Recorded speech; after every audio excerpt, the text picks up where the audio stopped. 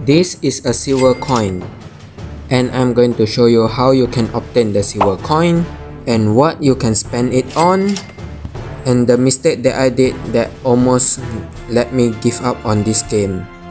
So let's get into it shall we? In the beginning of the game, you get a lot of silver coin. Most of it you obtain from the events, map exploration, quests, daily sign in and so on. After you play the game for some time, you are down to only a few options to obtain silver coin, such as daily mission, login reward, and also by dismantling your guns. Next, we will talk about where we can spend our silver coin.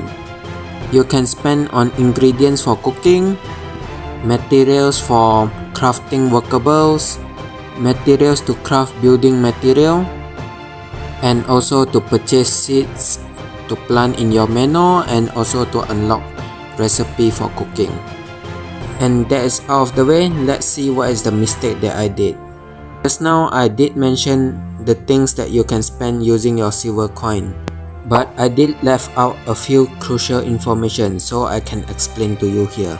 First mistake that I did is to purchase stone, wood, and ham. Some player might be like me, lazy to farm resources. So it is very convenient for us to buy those resources to up our manor or to craft workable. But the worst part is yet to come. One crucial mistake that I did was to buy a howitzer. This is the worst thing that you can do in game because it is quite expensive and there is a better way to spend the silver coin. As you can see, other than buying things, upgrading your character also require a lot of silver coin and there are many things to upgrade.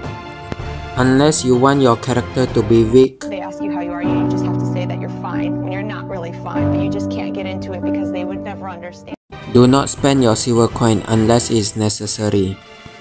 As you can see, the higher level you go, the more expensive the upgrade will cost. With so many upgrades, this cost will stack up exponentially and you don't want to end up like me.